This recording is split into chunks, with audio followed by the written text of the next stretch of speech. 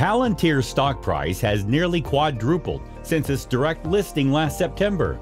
The data mining firm attracted a stampede of bulls after it posted a strong third quarter earnings report last November, hiked its full year revenue guidance, and signed new government and enterprise contracts. But Palantir's meteoric rise has also raised red flags. At $36 a share, the stock trades at nearly 50 times next year's sales, making it one of the market's priciest tech stocks. Today, we will check out why you should invest in Palantir Technology stock.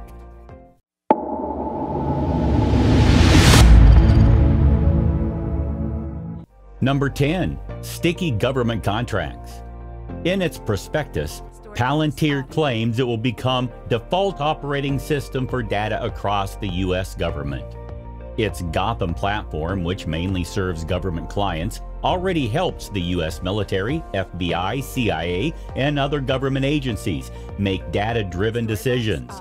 Palantir's revenue from government customers rose 73% year over year to $420.3 million, or 55% of its top line, in the first nine months of 2020.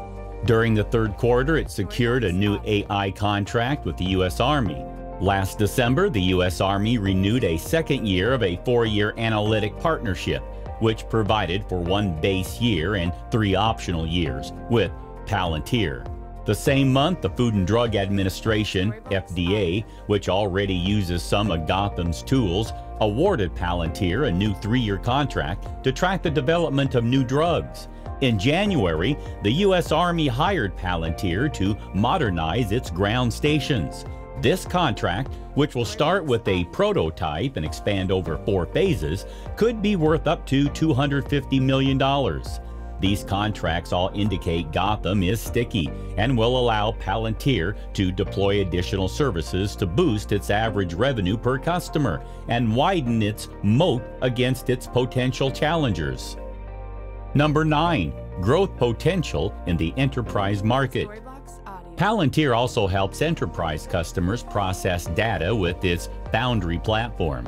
The Wall Street Bears often claim Foundry faces too much competition in the enterprise analytics market, but Palantir's enterprise revenue still rose 30% year over year to 320.3 million or 45% of its top line in the first 9 months of 2020. A medical professional assesses data on a tablet. During the third quarter, Foundry signed a new contract with the National Institutes of Health, renewed a contract with a big aerospace customer, and pulled a major consumer goods company away from an unnamed rival. Last December, it signed a new two year Foundry contract with the UK National Health Service, NHS, to track COVID 19 infections. Throughout January and February, it expanded its foundry deals with Fujitsu and BP, New York Stock Exchange BP, while signing new contracts with PG&E, Rio Tinto, and IBM.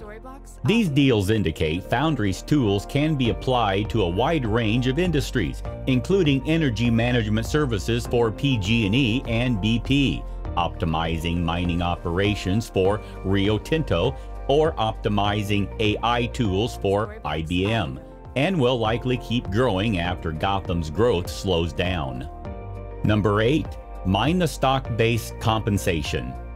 Like many high growth tech companies, Palantir subsidizes its employees' salaries with stock bonuses to conserve its cash. As a result, its stock based compensation more than tripled year over year to $241.8 million during the fourth quarter and consumed 75% of its revenue. Stock based compensation often remains elevated after a company's public debut even if it's a direct listing by Palantirs rather than a traditional IPO, because insiders still want to cash out their options.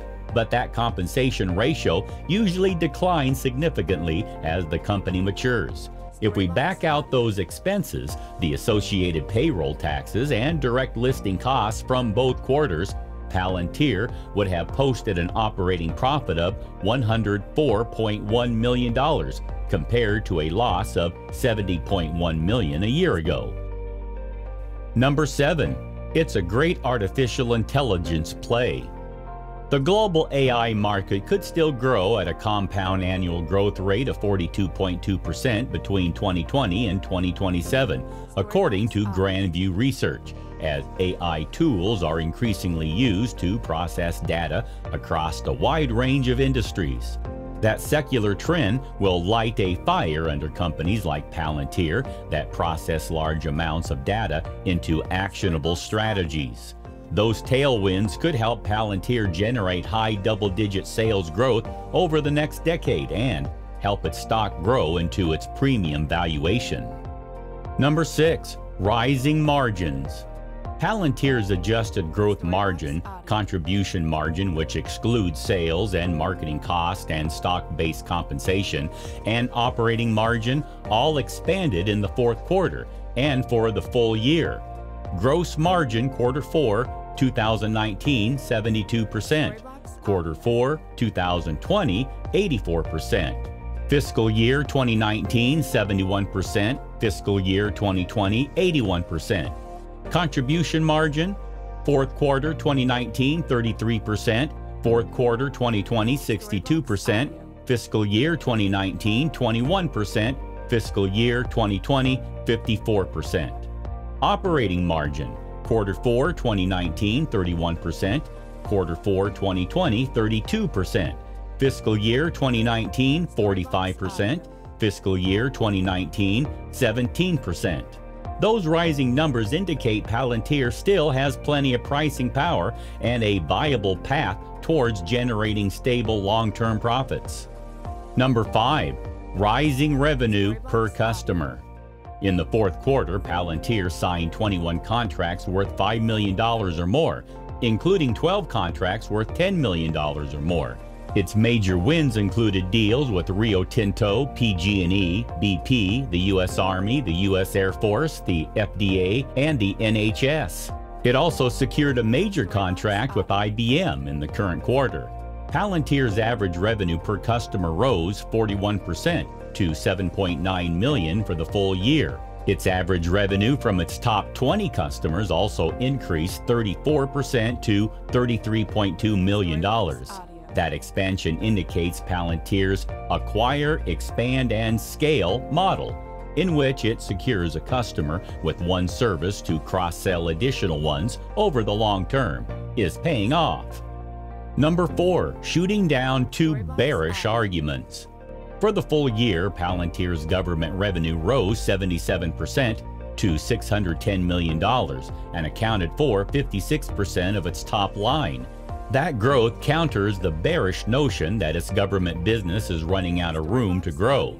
Meanwhile, Palantir's commercial revenue, which mainly comes from its enterprise-facing platform Foundry, grew 22% to $482 million.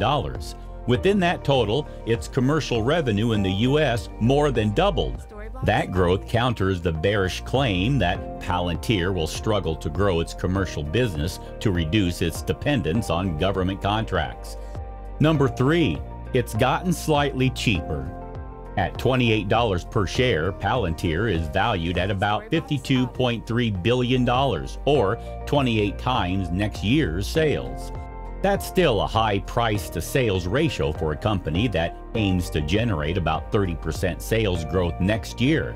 But Palantir could also be sandbagging its guidance. Last September, it forecast 42% sales growth for 2020, but it actually topped that estimate by 5 percentage points. If it raises its full year forecast over the next few quarters, its stock could actually be even cheaper relative to its sales.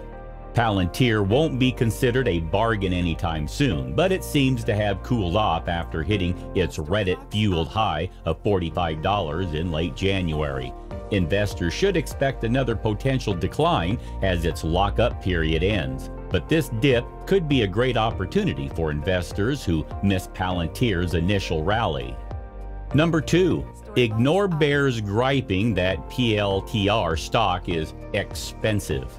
Looking past Wednesday's action, bears are likely to gripe PLTR is expensive, though yesterday shaved that price by almost 9%.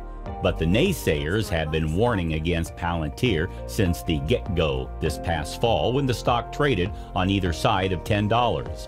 Vocal short seller Citron Research even famously called PLTR stock a casino at the end of November when shares zipped and zagged around $30. Still, and to be nonpartisan, nails chewed to their cuticles over today's lofty 62 times sales multiple by bullish believers in the Palantir story probably aren't going away anytime soon. And mind you, that's even if PLTR comes out and literally saves the world when it reports earnings in a couple weeks. It will still look pricey. In our estimation, PLTR seems like the real deal, but it's fundamentally flawed according to the bears. Until it's not, right? That could be the path for Palantir in the months and years ahead. But let's face it, finding the next Netflix or Tesla during a lengthy battleground phase is no easy task. And holding a few stocks that do rise the challenge and enjoy a storied rally is equally challenging. Number one, keep your eye on its long-term goals. Palantir is an interesting stock to look at. For while its technology has been vital for many world-changing organizations, such as the World Food Program and COVID-19 resources, unfortunately, the company does not have much of a moral compass when it comes to deciding the purpose of its technology. While operating in the gray areas of ethical issues brings in high revenue in the form of government contracts, it could present real problems for attracting a broader range of clients in the future. You can choose your own adventure when it comes to Palantir Technologies, which is recovering modestly from the stock's post-earnings sell-off. In a weird development that vividly demonstrates just how split Wall Street is on the prospects of the data analytics company, the stock on the same day was upgraded to a buy by one firm and cut to underperform by another. Palantir stock could dip over the next few months as investors take some profits amid concerns that its high valuation and lock-up expiration. However, those declines could be great opportunities for long-term investors who are willing to tune out the noise for a few years. This article represents the option of the writer, who may disagree with the official recommendation position of a Motley Fool Premium Advisory Service. We're Motley. Questioning an investing thesis, even one of your own, helps us all think critically about investing and make decisions that help us become smarter, happier, and richer. Do let us know in the comment what you think of this stock. Please subscribe to the Stock Adviser. Thanks for watching.